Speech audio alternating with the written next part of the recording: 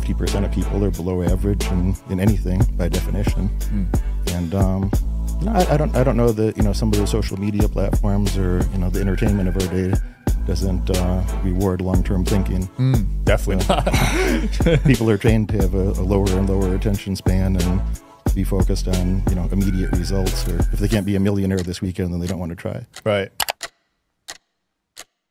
Wherever you guys are watching this show, I would truly appreciate it if you follow or subscribe. It helps a lot with the algorithm. It helps us get bigger and better guests, and it helps us grow the team. Truly means a lot. Thank you guys for supporting, and here's the episode.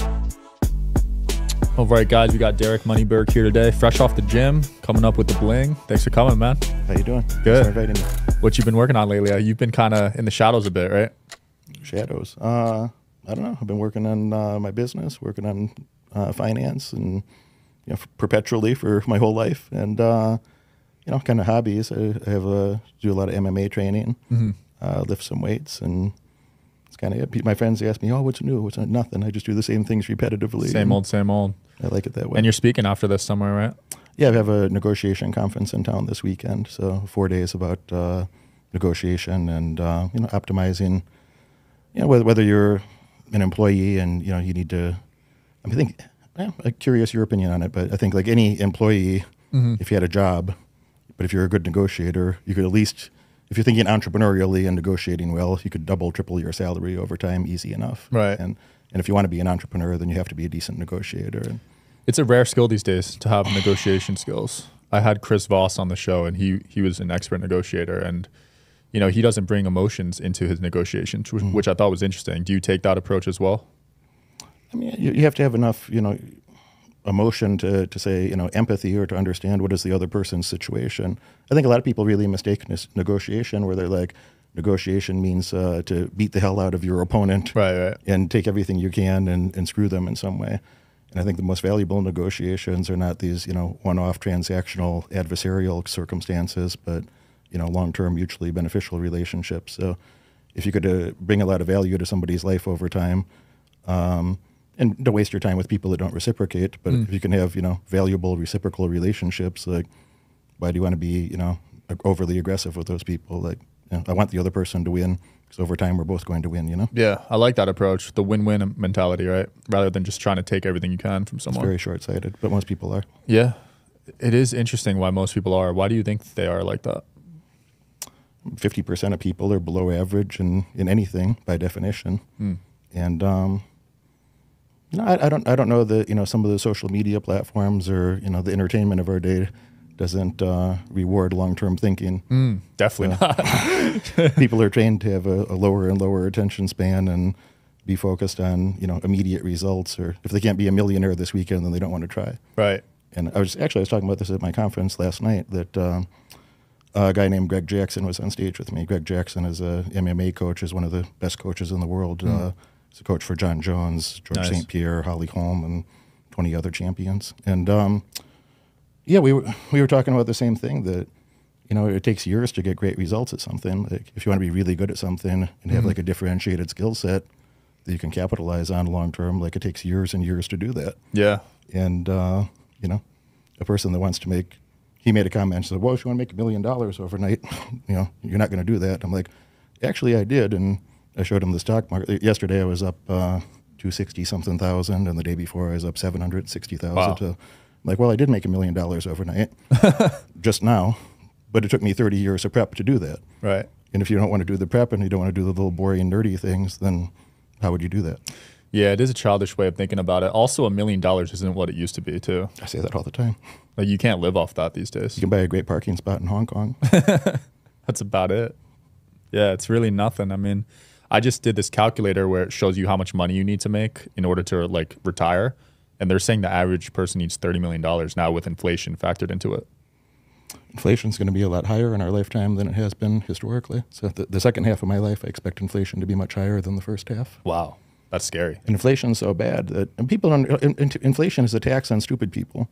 Inflation is another an additional tax that on, inflation only comes from one place. There's only one group of people that can print money, hmm. and that's the government. Right. So they, when the government says inflation came from anywhere else, it's it's beyond nonsensical. Yeah. Like the only people you have a monopoly on the currency. So if there's inflation, it came from the government printing extra currency or Federal Reserve Bank uh, expanding their balance sheet, etc. They call quantitative easing. And you know the, this uh, never happened before um, 1913. And you know in the in the past 110 years, uh, the currency's been devalued 98 percent. so damn. if you were a millionaire at that time, so people use the term millionaire like it means something. Yeah. And you know, a millionaire 100 years, 110 years ago, that's you know significant wealth.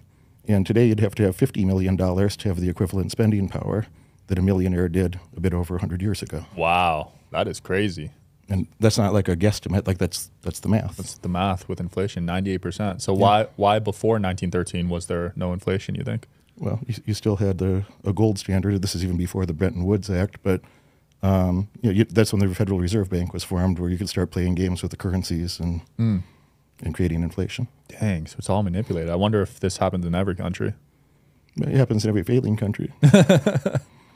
Well, over the history of time, every currency has failed other than gold, right? Yeah. So that's pretty concerning. I agree. So that means a dollar one day might fail. Will. Do you think so? I think you just said it pretty clearly that historically that um, that's been the pattern 100% of the time. and I wouldn't expect it to be any different. Right. Why are we why are we engaging in behaviors that are more responsible than other countries did, or why, why would it be different here? Yeah. There's all sorts of like absurdities that we do with the currency here. Yeah, you saw the new plan Biden uh, announced. He has a plan. I wasn't aware of that. One point five trillion dollar loan or something.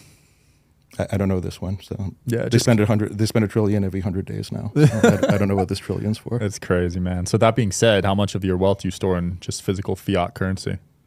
Uh, very little, a few hundred thousand. Okay. I like to have a few hundred thousand in cash laying around, but um, you know, I think if you have more than that, it doesn't make sense. I'd rather have assets. Hmm. I like infrastructure assets. So real estate, stocks, companies. Um, mostly stocks. I love, you know, I, managed real estate. I had my own properties for a long time. I still own, you know, several properties, but as far as rental properties, um, you know, it's good business if you're starting off. If you need to make your, you know, your first million or first few million, like that's cool. Right. Um, long term, it's really a quite an annoying grind to manage rental properties. I've heard. and um, people idealize that like oh it's just free cash flow you just you can just rent the house and the rent just comes and they don't understand all the human things that go with that and you know and governmental things as well of uh, you know you can't do this you can't do that or different code things or which some of them are make good sense and some of them are nonsensical but um, so yeah th- that's a great way to get started with some money but you know if you have a decent chunk of money i think the stock market's amazing i love the stock market And how is someone like you able to crush the stock market? Because 80% of the stocks are owned by five companies, right? Five hedge funds. You're not you're not going to have an advantage overnight and like you know uh, algor- algorithms or you know I'm not going to write better code than those funds can hire the the best PhDs and the best computer scientists in the world to to create whatever algorithm they want to. So as far as you know, when I hear somebody say they're going to be a day trader, I just think, oh, you're you, you want to be bankrupt. I understand, um, but you know usually those people are very committed to their bankruptcy. So Yeah. Okay. Um, I just think longer term. It's kind of what we said a few minutes ago. I was like, well, what's out of favor right now that's likely to be, you know, considerably valuable in the future?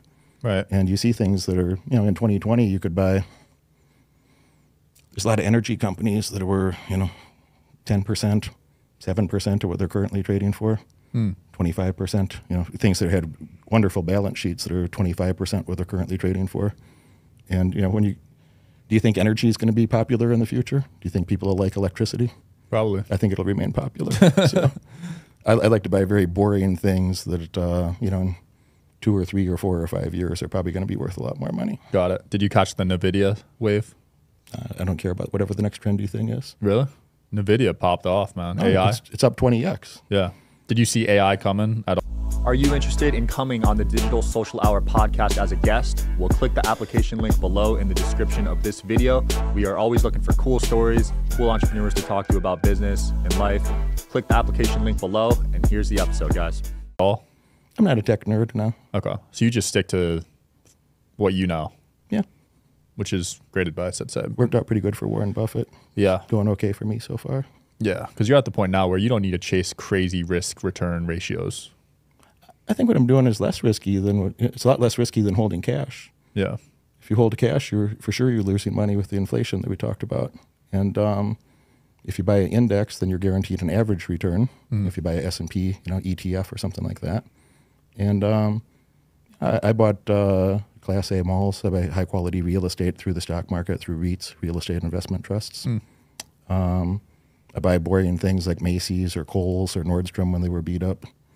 And um, you know, I, I made a lot of money doing little things like that, or energy stocks. Nice. Nice. But- yeah, I think people overcomplicate uh, making money and they do a lot of analysis and read the news and all this stuff. But you're keeping it simple, which I like. I spent nine years in university. So I went to University of Chicago's Booth School of Business, was the number one ranked graduate school for business in our country. Mm. So I can do all the nerd analysis, but you know, you can't do math better than the computer can. Right. Uh, You know, I can do math very well, extremely well, but my classmates can too. Mm. So you know, and the computers can too. So I, I just don't think you have an advantage there. Like you, it's important to understand to to be able to read financial statements. If Right. you can't read the financial statements, you don't know what's happening. Mm. But then you also have to think about human behavior. Like, well, how are the crazy humans likely to behave over time? Right. And you know, where is the mispricing? You know, between um, you know asset fundamentals and human behavior. You know, you could buy Macy's a few years ago, in 2020. You could buy Macy's for four dollars and fifty cents, Hmm. and it was trading for 23 percent of their you know book value of what the assets were worth. And anyway, I did the math. I'm like, what?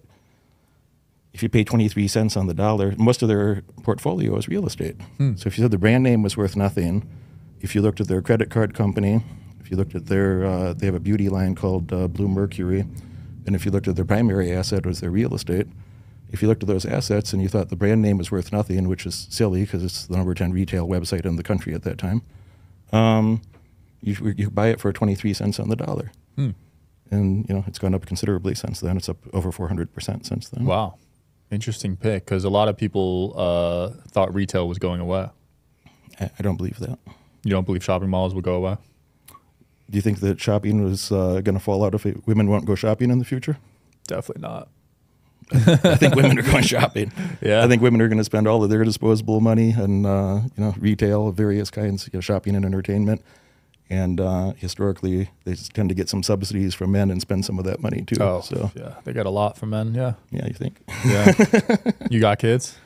No, that's not for me. No. Interesting. I like business more than kids. wow. So you chose business over family? Um, uh, yeah, I guess. Wow. So what do you think of the that balance though? Like a lot of people recommend just balancing that instead of going all in on one or the other. I mean, yeah, if you want to, if you want to be poor, I think balance is a great idea. Interesting.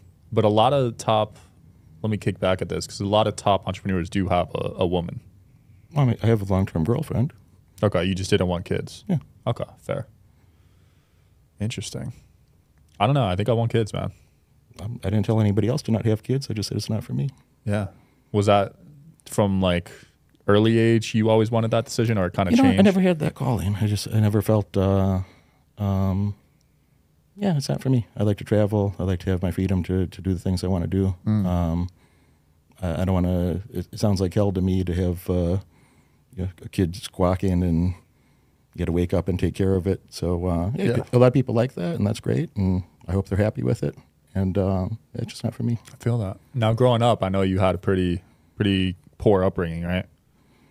Uh, yeah, I didn't have the best mother. She was not very attentive. Maybe that's my decision to not have kids. Mm. Mom, mom wasn't very attentive. Could be some Uh, trauma there, man. We got to dive into this.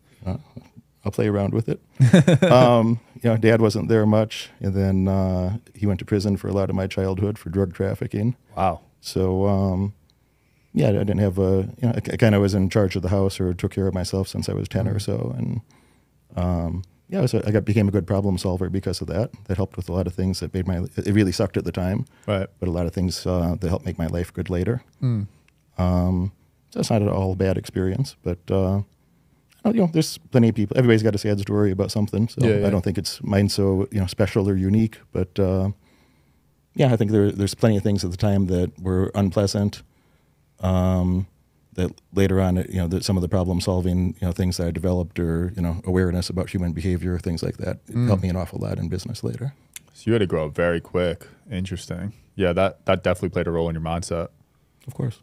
So did you want to go to college because you said you went for 9 years? Yeah, I went to, well, you know, I was a high school dropout, and then I went to community college, and then I got a scholarship, a 50% scholarship to go to a good private school to finish my bachelor's degree. And I, st- I hang, hung out there for a lot longer than I needed to because they gave me a four year scholarship. And I'm a nerdy guy, so I'm happy to take extra classes and uh, play around with that. And, um, and then later I went to graduate school for MBA. Okay. Now I feel like there's a new narrative for people my age about college. How do you feel about people not wanting to go? You know, I, I used to think that was ridiculous. I used to think it was a terrible idea. And when I look at it today, and you know, I'm not politically correct at all. I think it's uh, for extraordinarily naive or low IQ individuals. And um, you know, when I when I see the things that are, you know, that I, I, had, I had to I hesitate to say being taught, you know, but the things that people are learning in college today is so much of it is so useless or even counterproductive.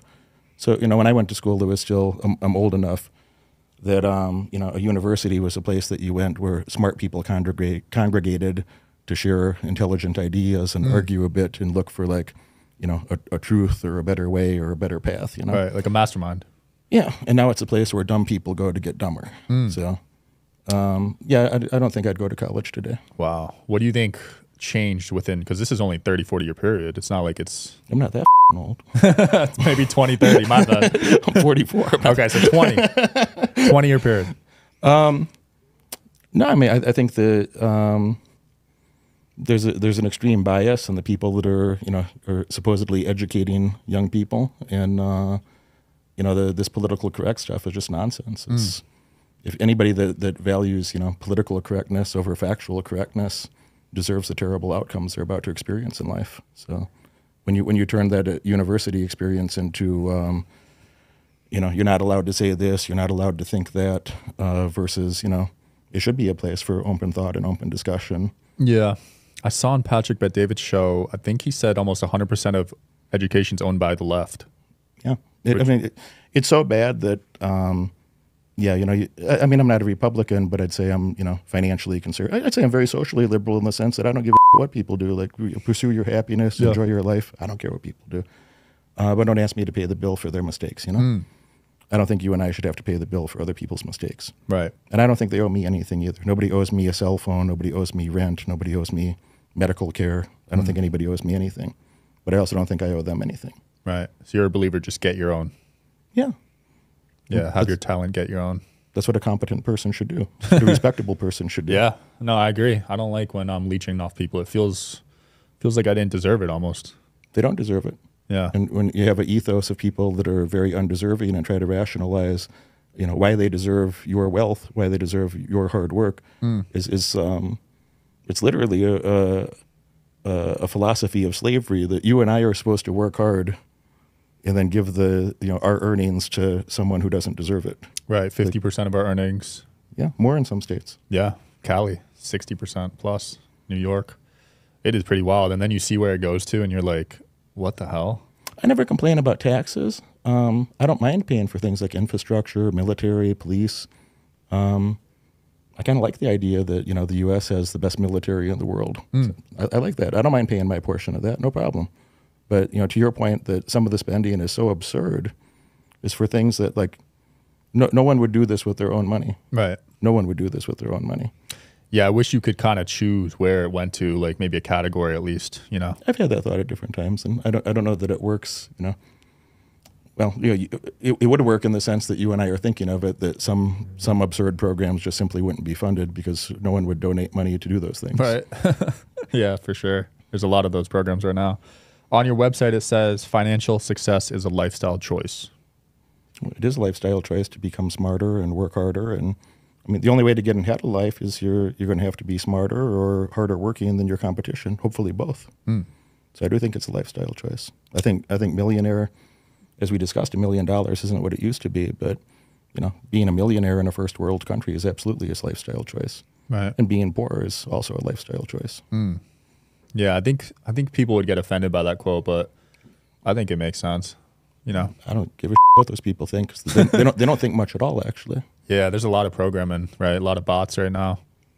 a person just- who would argue with that statement is quite literally doesn't think much at all. They must have, you know, very little faith in their competency. It's the group of people that we were just talking about that that think that, um, you know, someone who's industrious and productive and works hard is somehow bad, Right. and I owe them health care or something. Yeah. No, no, I don't. And a lot of that is programmed. You know? I, I agree, and you know, um, a lot of public school systems, or you, know, you mentioned uh, leftist programs in universities, and that starts you know through the public school systems. The unions control a lot of that, and there's a lot of um, you know communication in that vein that um, you know welfare is good and it's, you know somebody somebody else should be paying for your expenses in life. It's like you know, come on, man. Yeah, they teach you some wild stuff. I was taught by my accountant to contribute to my IRA, which is useless. It pretty much is, yeah. Can't touch it till 65. By the time inflation kicks in, that money is worthless. I have very little money in you know those type of retirement accounts. Yeah, it just doesn't make sense. Why would you lock up your money for 40, 50 years? So you know you have the traditional. I'll I have IRAs. I don't have 401k, but I have uh, you know traditional IRA, Roth IRA, and I have the you know same opinion about it. That if that's what you're relying on is your whatever six or seven thousand dollars a year that you can contribute and grow over time. If that's what you're relying on for your retirement, you're gonna have a very sad retirement. Yeah, for sure. Did you ever have a nine to five job growing up? I quit my last job in January 1999. I was a, a lowly manager at Walmart. Walmart. I was 19 years old, uh, managing Walmart employees. Wow. and uh, I didn't think that was my best opportunity in life. And this January, 2024, um, I needed an excuse to buy a Rolls Royce. So I, I kind of always wanted one, and I thought that's a not a good reason, but a but a fun excuse to. I'm like, well, let me go buy a custom Phantom and the extended one with a, a lot of customization. So Yeah. I spent uh, eight hundred thousand on a car to celebrate Holy. my 25th year of unemployment. Wow. I didn't know they went up that much. Yeah, I just bought a G Wagon last December, just same reason. Little tax write off. But yeah, I was never uh, too materialistic. I definitely went through a watch phase, but watches, you could argue, are an asset. Yeah, I mean, you can sell a watch and make a profit on it, probably. Yeah. But there is that retail. allure that a lot of people fall into with materialistic cars and objects, you know. Live whatever life you want. Yeah. I, I, you know, I think the most important thing that money buys is your freedom. You don't have to spend time with people you don't want to. You don't have to um, agree with nonsensical arguments from people that you don't want to. Right. If you if you showed up to your your job, and um, you know if you don't have much savings or much wealth, then you know maybe you're going to go along with whatever your employer says. Like, all right, you know Bob now identifies as Susan. You're going to call Bob Susan from now on, and, and use you know preposterous pronouns. Now, I don't care if Bob wants to change his name to Susan. Cool. I might even call Bob Susan. I say, all right, your name's Susan now. I'm probably not going to hang out with that person. But like, all right, Susan, peace, bye. But I'm not going to agree to say these, you know, ridiculous pronouns, and and I'm not and engage in a delusion of like, you know, uh, she, her, whatever. no, if you have enough money, you don't have to participate in that nonsense. Right. And they say, we're going to cancel you. We're going to this, that. We're going to throttle your accounts. We're going to cancel you. It's like, F- you. Yeah. Well, as a boss, they're making requirements. You have to hire certain genders and races and all this if you're a public company. I just think it's ridiculous. Like, Yeah. how about hire the best people so like the, the doors don't fall off the jets? Agreed. And that's why I'll never want to go public, no matter what I do. Yeah. It's not worth it. I'm not in a position where I'm growing a company that would be a public company, but um, I've built good lifestyle companies, have very good income from that. Uh, if I didn't have that, I'd have a great income from my investments. I don't have to do anything if I don't want to. But uh, I still, I, I like solving puzzles and solving problems, and uh, I like helping my clients a lot. So I really enjoy what I do. But you know, I, I would just revert back to what we said about you know wealth creation is like more than you know. I have a Maybach. I have a the Rolls Royce is coming in a few months. It's- Yeah. it takes uh, six to eight months to Damn. to deliver. They said. Um, but I, I don't care about material stuff so much, you know. But live, live comfortably. But the most important thing is your freedom. That you don't have to participate in somebody else's delusions. You don't have to. Um, you can spend your time as you wish. You know, if you want to go travel somewhere, you could go travel somewhere. Right. Stay in a nice place. Feel pretty comfortable. So after leaving Walmart, how long did it take you to achieve what you consider freedom? Oh, it's you know only fifteen years or so. Oh, okay. so it was a grind. yeah, I thought it'd be quicker than that. Um, I had a I had my first million dollars when I was 29, just after my 29th birthday. Okay. And you know, with inflation, you know, then that's I don't know, maybe that's 1.5 or 1.6 million today or something. Yeah. Um, and then in my early 30s, I you know, 32, 33, that was about four million. And then yeah, it was kind of a slow grind to, to about 11. And then uh, 2020 recession happened, and I got to to multiply that nicely, you know, through the hysteria of 2020, 2021. And um, yeah, there's, there's plenty of people that are richer than me. Most of them are older than me, but you know, I'm in the 70s right now, and I have 100 million in, in my 40s still, I would think. And uh, I'm, and, and again, I- I'm not telling somebody else you you have to be a millionaire, you have to be rich. It's like be poor if you want to. But I've just said it's a lifestyle choice. That was the original question that you you mentioned. It's like, um, yeah, it's kind of hard to go make a hundred million. It's probably an effort most people don't want to make. That's Yep. fine, but you know, make enough money that you're you're actually happy with your life, and you know, only rich people can afford groceries now. so For real. When I go to Whole Foods now, it's like 300 bucks. everything's three hundred bucks. That's not like a big shop. When I was a kid, which you know, which was only forty years ago, it's not so old. But when I was a kid, hundred dollars was like a, hu- a huge shopping cart of food. You Oh, know? I bet. At Costco, you could do a lot with a 100 back in the day. Yeah, and now you know, hundred dollars is like uh, you could go to Costco and buy like a filet mignon, you know, like a a long piece of five Yeah. pounds of filet mignon or something. It's crazy. and You- nothing else. And you can't even trust certain groceries with the quality of food these days, too. I bought uh, I bought a bunch of crab legs. It was quite a lot. It was it was you know a bit ridiculous, but we bought about fifty pounds of crab Damn. and about hundred pounds of meat, and it was over five thousand dollars. From Costco? Yeah, Holy it's, it's one crap. shopping cart. It's all full premium stuff. It's Yeah, like yeah. you know nice King filet crab, yeah. and the big king crab and uh, nice ribeye steaks. So it's all premium stuff, but you know uh, it's over five thousand dollars with tax. That is crazy, man. One shopping cart. I kind of did that just to make the point of like you know if you fill the shopping cart with premium stuff, it's kind of expensive. Yeah. No, it's it's a shame. You got to have money to eat healthy these days, in America at least. Yeah, I agree. It's pretty wild. In Europe, you can eat a lot better. I, I like Europe because the food quality is actually good and you can eat the pasta and not feel heavy. Hmm. Do you travel a lot right now? Um, I have in the past. I've been to over sixty countries and flew I don't know a little over two million miles. Nice. So I used to fly internationally quite a lot and spend five, six months a year in other countries. Um, I've been spending more time domestic. I, I go to Europe once in a while still, but I don't. I don't hate it. But I kind of I wanted to be in more better fitness routines for Yeah. like MMA training and weightlifting, and you know if you're changing time zones week after week after week, it's a lot more difficult to do that. Can't beat Vegas for fight training. Yeah, I have a lot of friends over here that are fighters, and I have a. I built my own gym that uh, a lot of them come to train with me in Chicago as well, and we have a studio and gym over there. Nice. Are you f- looking to fight or are you just No, I'm 44, man. I'll be 45 soon, but Tyson's fighting?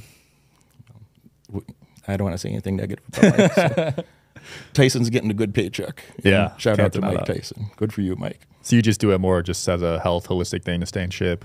I mean, I, I train like a pro fighter, and I train with a bunch of pro fighters. I train like a pro fighter, Hmm. but uh, it's not a career. Like even they don't make that much money doing it. Yeah, unless you're Jon Jones, you're not really making millions like that. Very few No, fighters. that's true. I was I was with his coach last night, and uh, um, yeah, I mean, Jon can. You know, Jon's 24 or 25 and 0 basically. I mean, he lost he lost one fight technically, but he Yeah. knocked the guy unconscious, Yeah. and then was disqualified for like an illegal strike. So, you know, I, I think of him as being undefeated, Mm-hmm. and um, you know, yeah, if you're if you're the best fighter in the world ever. You know, Jon Jones, then Mm-hmm. you know, then maybe you can demand uh, ten million or something for a fight. Yeah, Dana White has him as the GOAT. Do you consider him the GOAT as well? I, I do. I think it's hard to argue differently. Yeah, I have him as mine too. I mean, some people say Khabib, but I think Jon's beaten tougher opponents. I've met Khabib. I, I know his manager well. Khabib's a nice man. I have nothing negative to say about him, but um, I, I don't think he's done what Jon Jones has done. Hmm. Agreed. You interview a lot of fighters on your show, right? Yeah, I've done quite a few. What drew you to the fight world so heavily? You know, it's the last group of people that aren't fully. Hmm. It's the last group of people that are they're very performance minded. They have to be honest with themselves. You know, it's an individual sport. It's not like a, a team sport. Right. So you have to go in the in a cage and um, um, do some very tough things that are you know it's not enough to be like a tough person, psychologically tough, physically tough. You know, by the time you've done enough training for ten or twenty years to have a, a very high level skill set, you know, you have injuries that accumulate over time, etc. And um, you don't get to get, go in there and make excuses. You know, you're, Yeah. you're in there by yourself, and uh, outcomes are very clear.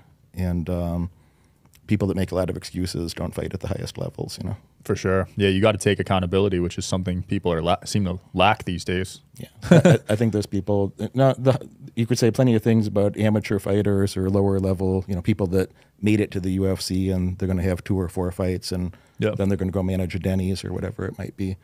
Um, but the people that made it to the higher levels there and stuck around for you know ten years or something, those are those are people that are, have high level of personal responsibility and accountability. They're very reliable. They tend to keep their word consistently, and uh, have a, a lot of friends that are that, that way. That I have a lot of respect for those people. Ali, yeah. Have you met McGregor yet? Well, you know, there's a conflict there that uh, a guy named Paulie Malignaggi was my boxing coach for, uh, I don't know, 14 months or so. And they have a significant beef with one another. Really? So I've, I've, been- I've been offered two and a half times to interview McGregor, and uh, uh, I don't, I don't need to spend time with my friends' enemies. Wow, so you're very loyal. I am. Okay, that's a good skill. Dana's known for being loyal as well. I have nothing personally against McGregor. I I have nothing bad to say about the guy, but um, great marketer. Yeah. made a lot of money over there. Great marketer. Um, but yeah, we just have a conflict that way. So Yeah, I think he's fighting Chandler. I don't know if they announced it yet. Um, Chandler coming up. I know Mike Chandler. I've trained with him, um, done interviews with him. He stayed with me. He's a good man. Nice. Who do you got winning that fight if it happens? No, could go either way. Could go either way. That you know, the Chandler's going to be. Uh, he hasn't fought for a couple of years by that time, and uh, he trains hard. I'm sure. You know, I hope Conor's training hard. I'm sure he is. He looks pretty fit. Yeah. So, uh, it could go either way. It's going to be an exciting fight. They're they're both pretty you know action oriented people. Uh, both tend to you know use a lot of energy in the first couple of rounds and Right. get exhausted later. So uh, um, you know probably probably won't go to decision. Good. I hope not. Probably won't go to decision. I want to see it end quick. Any up and coming fighters you got your eye on that you think can really take it off? Oh, I'll give a shout out to the homie Brendan Allen. He's a young guy, still in his twenties. That uh, I think he's got a main event coming up. What's that? This weekend, he's got a main event in Atlantic City. Mm. So, uh, I mean, I mean, no, that's not true. That's uh, that's next week. It's a, Apex next week. Okay. Next week in Las Vegas. So uh, yeah, he's he's he may be ranked number ten right now, or something like that, at 185. But he's doing very well and has Mm. good momentum and has the right type of mindset or personality to to perform well. Nice. I've been keeping my eye, eye on uh, Sean O'Malley. Hmm. I saw him climb the ranks, and he's number one now. What do you think of him? I don't much. Um, I went to his fight in Miami. Uh, he beat Chito. Um, I think he's very talented. I, I, I don't like his outward persona. Uh, I'm not a fan of his outward persona, but I, but I think behind the scenes, I, I think he's a lot more hardworking and um, um, you know responsible and respectable than than his outward persona suggests. You, you wouldn't be able to get those results without you know being very consistent and and diligent and intelligent in the background. Right. So yeah. I think that's mostly an outward marketing thing that he's doing. I think so too. I think he followed uh, Conor's path a little bit. You know, that wild side. I could see that. You know, the the Brasherat brothers. There's a couple of kids out here that uh, they came from London. I think they came from they came from Middle Eastern country, Pakistan or Afghanistan first, and then they were in London for some time. Those guys work really hard. Mm. They're smart. They work hard. They pay attention to detail. I think they're going to do very well. Cool. Keep an eye on them. UFC 300 coming up. Will you be there? No, I won't. Went to the, the last four weeks. I've been at the fights, and I got a couple other obligations the next couple of weeks. Okay. Uh, anything else you got coming up? Anything you want to promote or close off with? Um, yeah, I think for you know, if there's an introductory program they have called the Ten Commandments of Wealth. If somebody's serious about you know understanding the, just good basic fundamentals to uh, uh, go from being an employee to an entrepreneur and maybe entrepreneur to investor, that'd be a great place to get started. Just check out my YouTube channel, see what's uh, going on YouTube or Instagram, and um, plenty of little entertaining clips in there that uh, also are informative and could help somebody you know orient in the right direction to do a bit better for themselves. Perfect. To choose prosperity over poverty. Love it. We'll link it below. Thanks for coming on, man. Take care. Yeah, thanks for watching, guys. See you next time.